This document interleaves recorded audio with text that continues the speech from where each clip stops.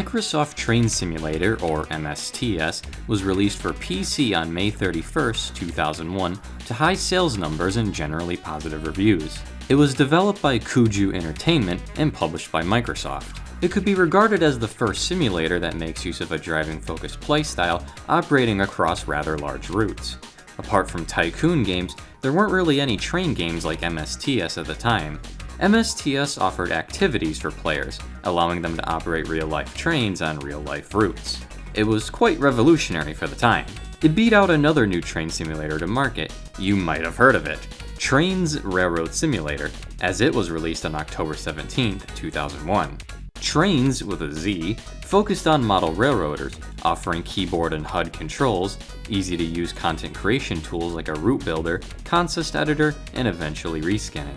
MSTS, on the other hand, used keyboard controls, with train and route info displayed as part of the HUD. It offered similar tools like a route builder and activity editor, although they weren't nearly as user-friendly. However, MSTS had a jumpstart on the user install base. Over 190,000 copies were sold in the United States alone by the end of 2001, with profits reaching $8.7 million.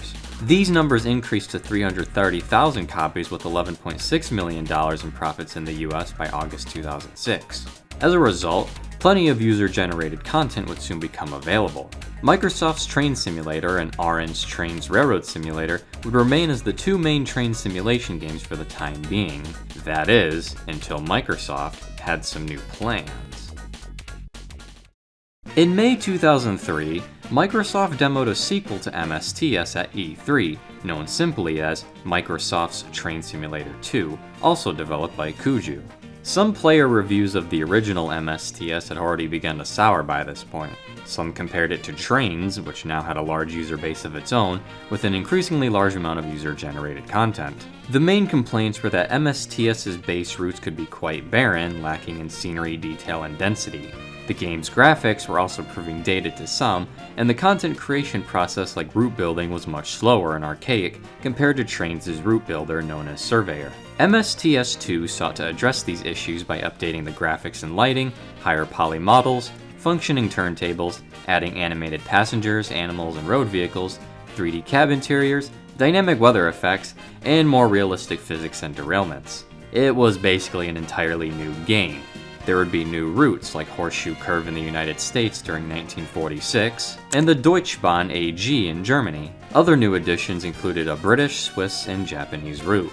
There would be a new fleet of locomotives and rolling stock too. Backwards compatibility with the first game would be implemented as well. MSTS2 would focus on not just rail fans, but newcomers too, offering a new easy mode using a simple forward and backwards button. The development team had taken 140 gigabytes worth of digital reference material for the title. Response to this announcement and demo was positive, with players looking forward to a more modernized MSTS experience. It was given a release date of July 2004. By August 2003, development was shifted over from Kuju to Microsoft Game Studios, but then all development was suddenly halted by April of 2004. He's fucking dead. A statement from Microsoft addressed this cancellation. Microsoft Game Studios has canceled the Windows-based game Train Simulator 2.0. The decision to cancel Train Simulator 2.0 was made some time ago and was based on a long, hard, and difficult look at our business objectives and product offerings. We remain focused on the simulations category with successful platform driving franchises such as Microsoft Flight Simulator. In short, Microsoft canceled the sequel due to logistical issues and competing development interests internally.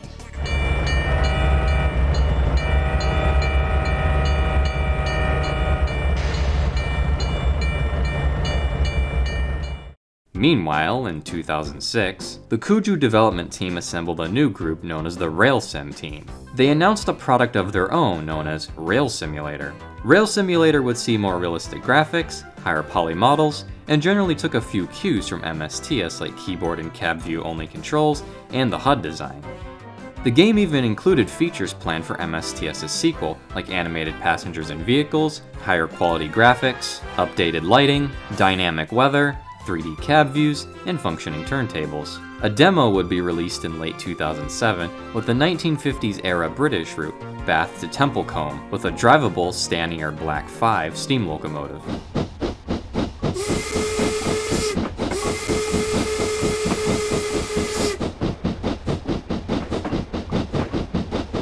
It saw a retail release in Europe on October 12, 2007, and North America on January 16, 2008. There were positive reviews, but the main criticisms were lack of tutorials and no anti-aliasing, leading to a jagged graphical appearance.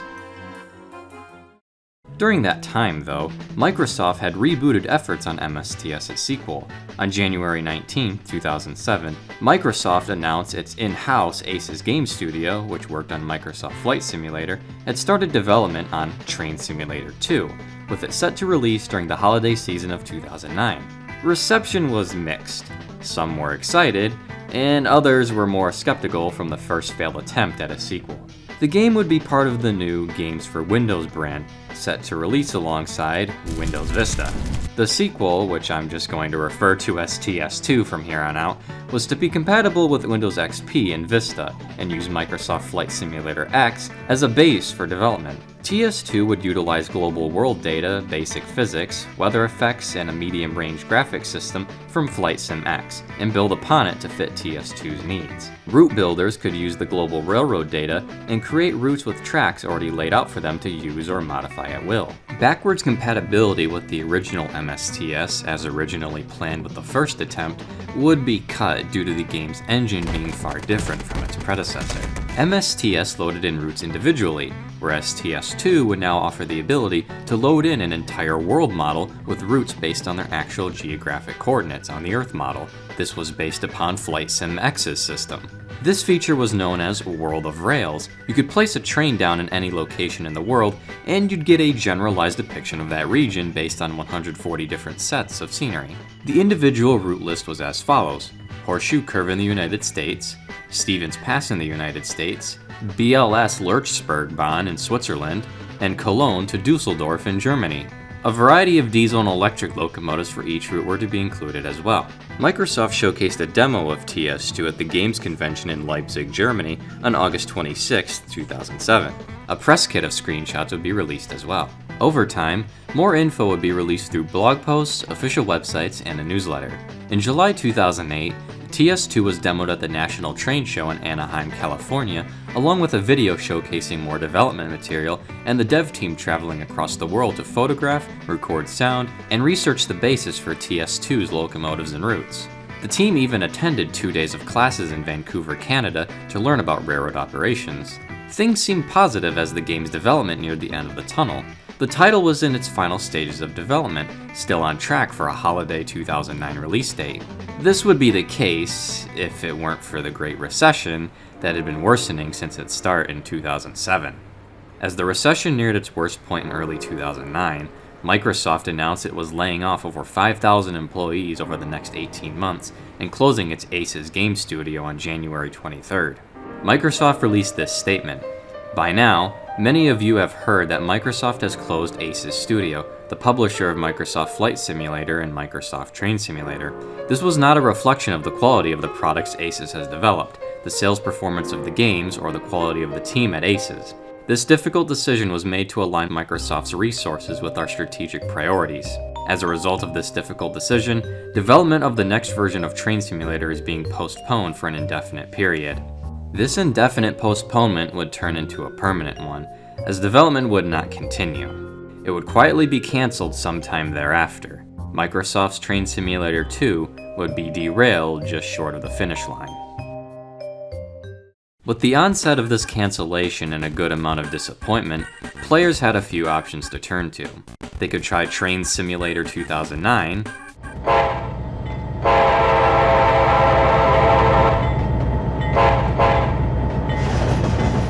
Railworks,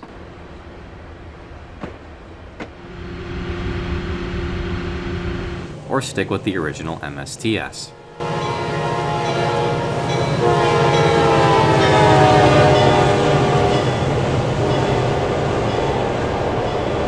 But there was another option.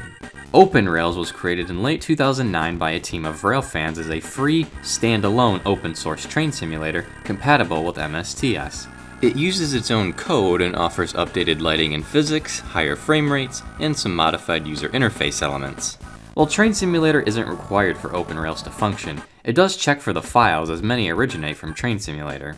Although these days, OpenRails is basically required if you want to get MSTS working at all on modern hardware, at least in my experience. Maybe there's a workaround, I don't know. With the level of content quality coming out of the community and backwards compatibility with MSTS, OpenRails could be seen as a sort of MSTS too.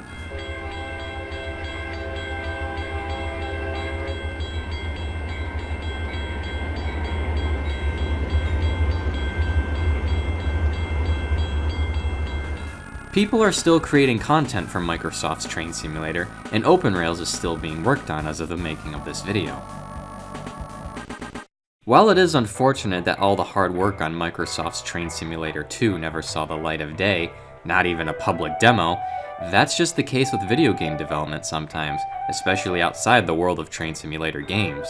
It could be said that some elements planned for MSTS2 still carry over into Dovetail Games' Rail Simulator successor, Railworks, later Train Simulator. Many of the keyboard control shortcuts and menus are identical, if not very similar to MSTS. TS2 was cancelled due to its studio being shut down over a bad economy and consequential worker layoffs. It's very unlikely MSTS's sequel will ever see the light of day, let alone a playable demo. MSTS's legacy paved the way for modern train simulators that we have today. The real-life version of the BNSF locomotive on MSTS's game cover in the model in-game, Dash 9 number 4723, was even given an MSTS decal to commemorate its inclusion. In the end, dedicated rail fans still continue to enjoy Microsoft's original train simulator in OpenRails to this day, 21 years since its initial release.